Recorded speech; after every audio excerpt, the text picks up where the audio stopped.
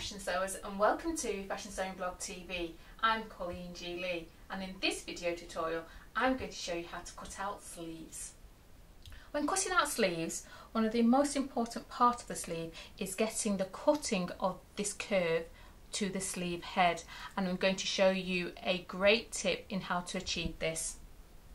So to achieve a smooth cut of your sleeve and in particular the curve of your sleeve head, it's not about the tools and equipment, it's all about the positioning of the palm of your hand.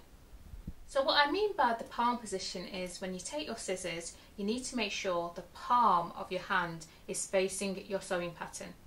So as you approach the curve of your sleeve head, remember your palm is still facing your sewing pattern, but you will be pivoting your wrist in order to follow the curve of the sleeve and get a smooth cutting to your fabric.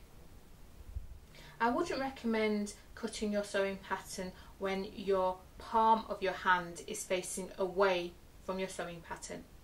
And the reason being, as you approach the curve, you have less control of getting that smooth, round, curved shape to your sleeve head.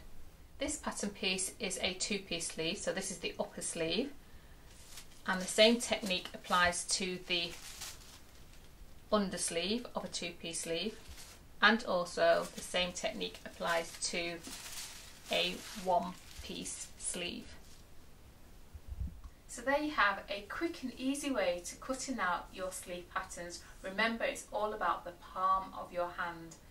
Don't forget to subscribe to Fashion Sewing Blog TV for free weekly video tutorials and if you have any comments or queries please put them in the comment box below and I will see you next time.